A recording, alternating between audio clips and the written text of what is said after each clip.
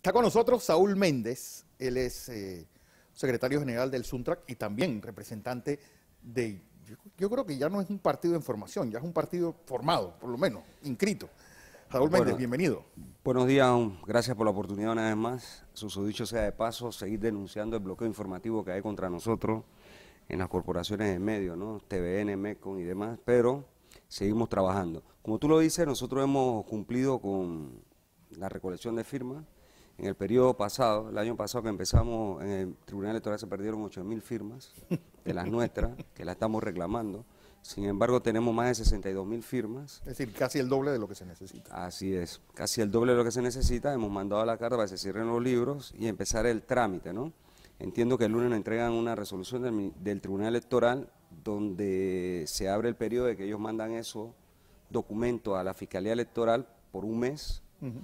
Para ver si hay algún tipo de impugnación y luego entonces, transcurrido ese mes, deben dar una resolución, nosotros hacer un congreso eh, constitutivo, que pretendemos hacer antes que termine el año, y finalmente tener el partido ya en el estatus de un partido formal. ¿no?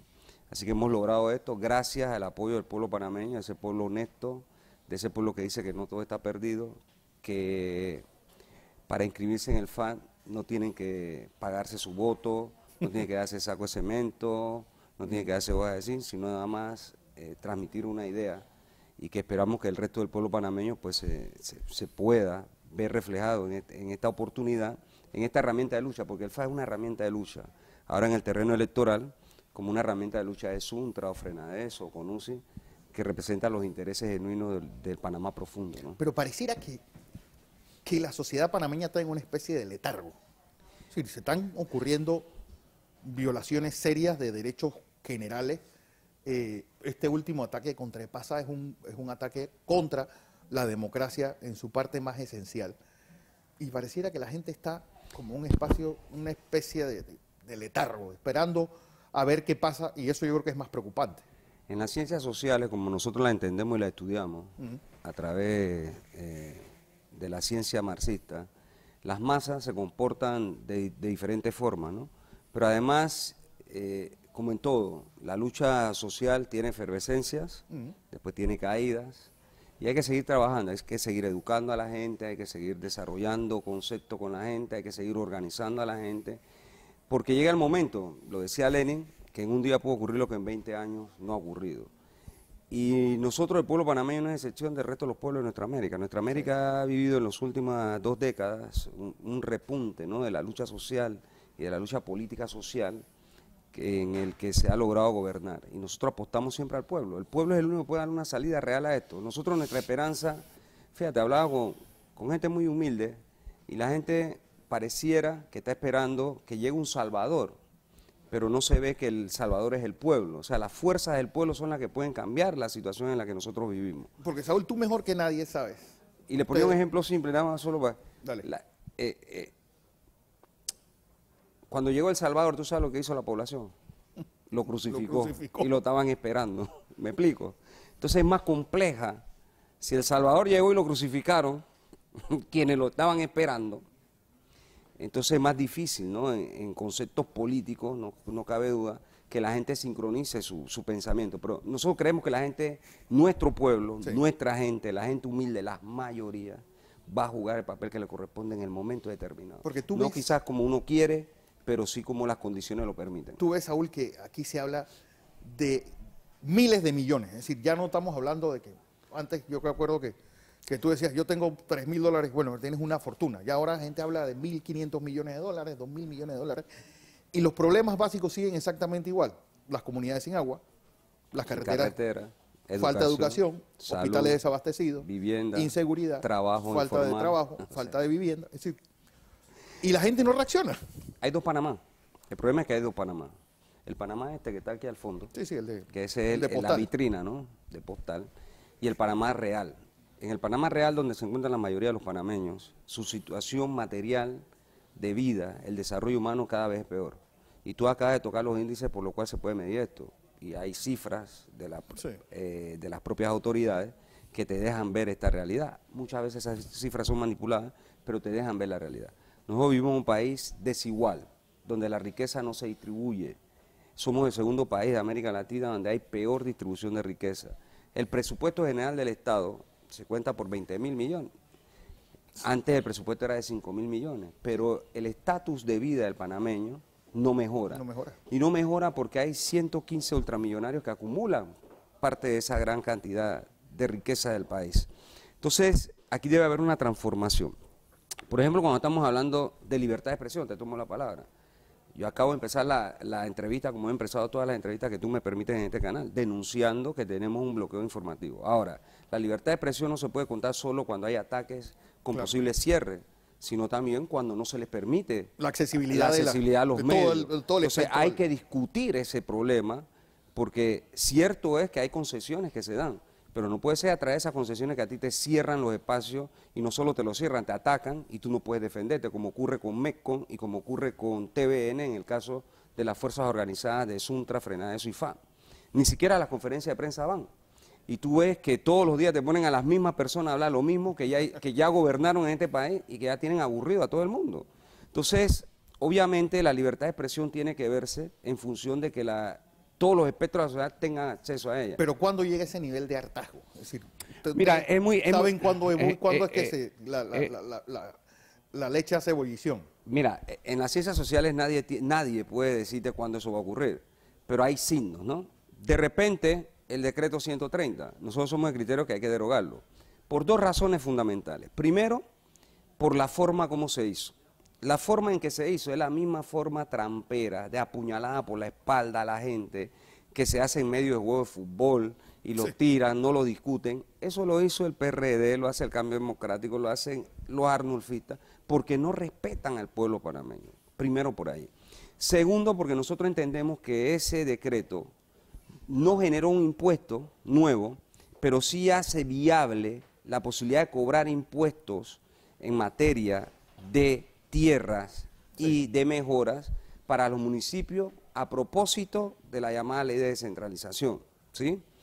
Entonces hay que discutir, a nuestro juicio, en este país, una ley impositiva, una ley de impuestos que cambie lo que ha ocurrido. ¿Qué ocurrió del 90 para acá desde el gobierno de Endara? Los empresarios o los que más tienen pagan menos, ¿sí? Y como pagan menos, los asalariados, entiéndase profesionales para abajo, pagamos más. Entonces hay que cambiar eso. Mira, un empresario muy acadulado aquí en este país, la casa, la escuela de los hijos, los carros, los yates, lo tiene en fundación, lo mete como costo de operación de las empresas para no pagar impuestos. Entonces yo sí creo que hay que cambiar la tabla de impuestos y que los que más tienen paguen más. Cuando se hizo la cinta costera 1, Avenida Balboa, tú recuerdas, no había esto que vemos ahora. Eso se valorizó y se dijo que se iban a hacer revalúo a toda esa propiedad que estamos viendo aquí de fondo. Sí. Esas propiedades sí hay que revaluarlas porque eso cuesta miles de millones de dólares. Pero no es igual, cuadrado multiplicado no es igual que valoren la casa del campesino, del indígena, del profesor, de la clase media. una finca de alguien que está viviendo. Me explico, no, no, es igual. Entonces sí tiene que pagarse impuestos. Por eso es necesario que en este país se discutan las cosas de fondo. Ahora tú preguntabas algo, ¿cuándo es el momento? Hay signos que te muestra la población. De repente, por confusiones y por manipulaciones politiqueras, tú ves, no sé, 600 personas en la cinta costera, por lo que logro ver, clase media profesional, que al ponerle el micrófono, usted sabe que está la gente clase media profesional dice, no, yo no he leído eso, pero estoy en contra. Entonces, es decir, está mal eso, por un lado, y por otro lado, está mal las condiciones en las que nosotros estamos viviendo. Pero hay síntomas que demuestran que la gente está cansada. Todos los días, Fernando, hay una calle cerrada. Hay una calle Por la escuela, porque una empresa tapó la zanja, por, la razón que sea. ¿sí? Eso te da signo de que la población está cansada. ¿Qué nos, nos falta a los panameños? Entender que el pueblo es el capaz, organizado, de cambiar la realidad que estamos viviendo. Porque no se la podemos apostar a los partidos tradicionales de siempre. Tenemos que hacerlo desde abajo, desde el pueblo. Pero hablando de los partidos, pareciera que solamente son máquinas electoreras. Es decir, son que se reactivan en las elecciones y el resto del año los que están en gobierno consiguen puestos y los que están en oposición dicen lo que hicieron, lo, que no hicieron cuando eran gobierno lo critican cuando son Es una máquina electorera que se activa, como tú dices, en los procesos electorales. Una vez llegan a gobierno tienen que ejercerlo todos los dignatarios de esos partidos quedan en gobierno, ministerios, direcciones nacionales, etcétera, embajadas, lo que sea. Y finalmente vuelvan a activarse cuando está cerca de las elecciones, cuando se abre el periodo electoral. Entonces, estas maquinarias, que tienen mucho poder económico, obviamente no hacen vida política, hacen vida politiquera. El clientelismo es su mejor eh, bajo la Pero exacerbado por el Tribunal Electoral. ¿eh? Me pareciera que es eh, quien financia ese, esa desideologización de, de los partidos. Fíjate, el Tribunal Electoral da los subsidios para formación. Ahora, ¿qué forman cada partido a sus dirigentes, a sus cuadros medios a sus bases?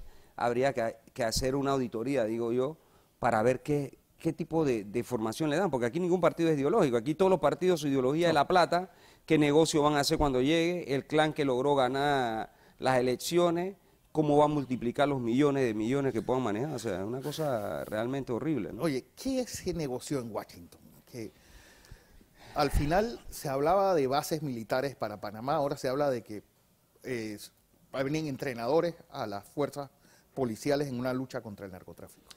Generalmente lo que se negocia, la clase dominante, a través de su gobierno en Washington, los panameños no lo sabemos. Y este no es la excepción. Los panameños, hay hitos en la historia que el pueblo organizado ha logrado develar las intenciones entreguistas de la clase dominante. Ocurrió en el 47 con los tratados 3 en 1, ¿verdad? el pueblo cercó la asamblea y dijo no queremos esto y no se pudo hacer.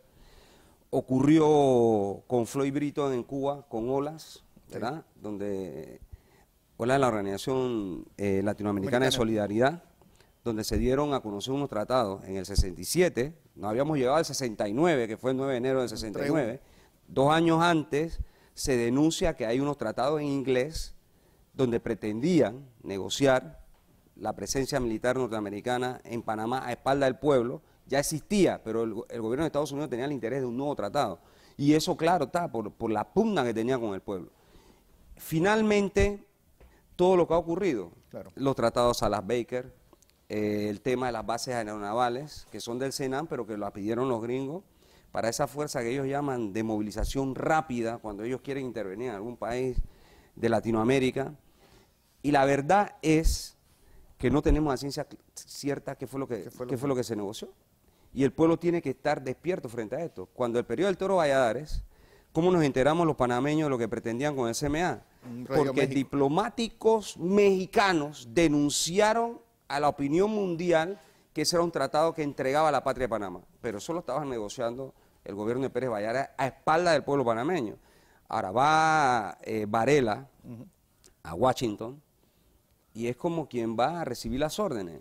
Tuviste la conducta del gobierno panameño en la OEA de ataque frontal contra Venezuela. Cambio radical de la política de ellos hacia Venezuela. Eh, además, sí, porque primero estaban propugnando como los demás que debería haber diálogo. Ahora resulta ser que están entre los países beligerantes contra Venezuela. y es lo que Trump parece haber ordenado. Además de eso se habla de que ahora vienen a entrenar. ¿Cuándo han dejado de entrenar los norteamericanos a las fuerzas policiales en este país? Nunca, nunca lo han dejado de hacer. Tú recuerdas que cuando hubo un incidente en la frontera con Colombia con los paramilitares que entraron a la parte de Panamá y asesinaron a algunas personas, se hablaba de dar bases militares en Darien. Los norteamericanos no tienen una política clara de cómo atacar el consumo de la droga y el lavado de dinero que hay en, en el centro financiero de ellos, de la droga y del consumo que ellos tienen allá. ellos quieren, según su teoría, acabarlo en nuestros países.